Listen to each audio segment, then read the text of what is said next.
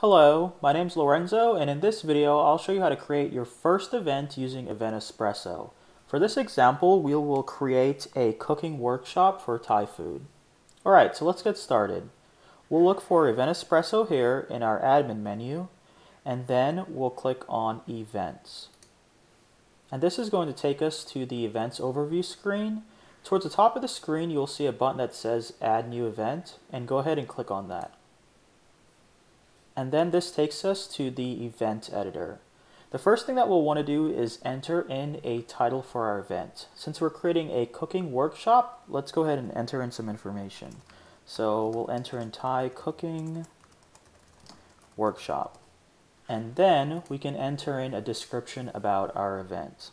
So let's enter in some information. So you'll have an amazing time learning how to prepare spicy Thai food with lemongrass as the main ingredient.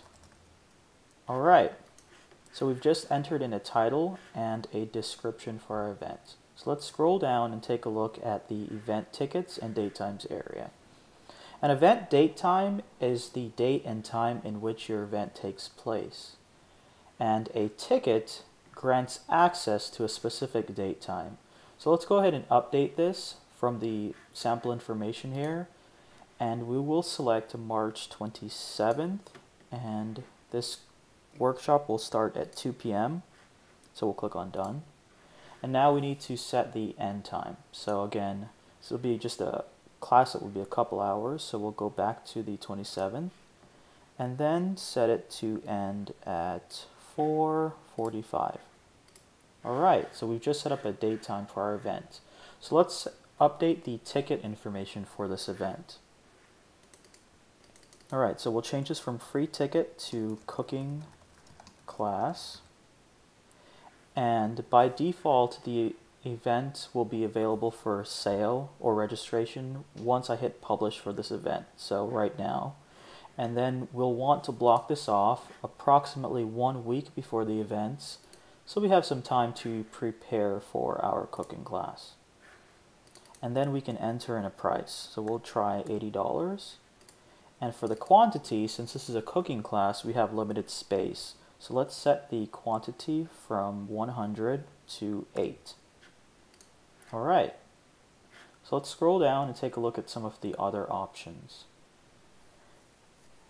Here we have a section for questions for primary registrant, and then below that we have questions for additional registrants. By default, when you register for an event, it will be the information will be associated with the primary registrant.